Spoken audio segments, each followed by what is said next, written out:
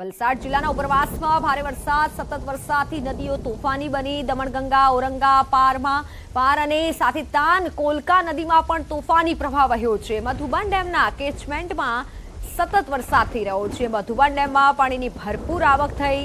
ડેમમાં પચીસ હજાર ક્યુસેકથી વધારે પાણીની આવક થઈ છે. દમણગંગા નદી તોફાની થઈ છે.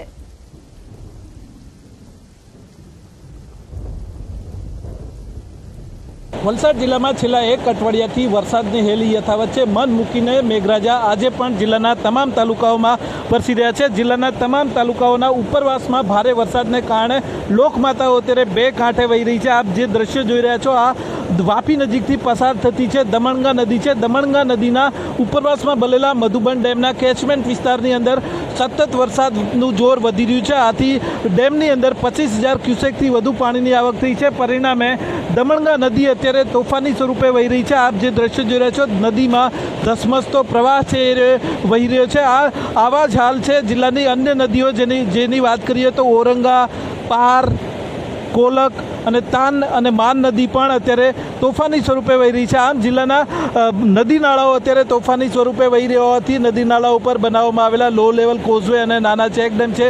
પાણીમાં ગરકાવ થઈ ગયા છે. આથી વલસાડ જિલ્લાના તમામ તાલુકાઓમાં મળીને સાહીઠથી વધારે લો લેવલ કોઝવે પણ પાણી ફરી વળ્યું હોવાથી વાહન વ્યવહાર છે બંધ કરી દેવામાં આવ્યો છે. સાથે જ વલસાડની વાત કરતી હોય વલસાડના ચિપ્પડ રેલવે ગરનાળામાં પણ પાણી ભરાય છે. સાથે જ મોગરાવાડી ગરનાળું પણ છે. પાણીથી તરબોળ છે. આથી અહીંયા આગળ સલામતીના ભાગરૂપે વાહન વ્યવહાર બંધ કરી દેવામાં આવ્યો છે. આમ, વલસાડ જિલ્લાની તમામ લોકમાતાઓ અત્યારે તોફાની સ્વરૂપે વહી રહી હોવાથી જિલ્લામાં જે નદી કિનારાના લોકો છે, તેમ લોકોને સાવચેત રહેવાના સૂચનો કરવામાં આવ્યા છે.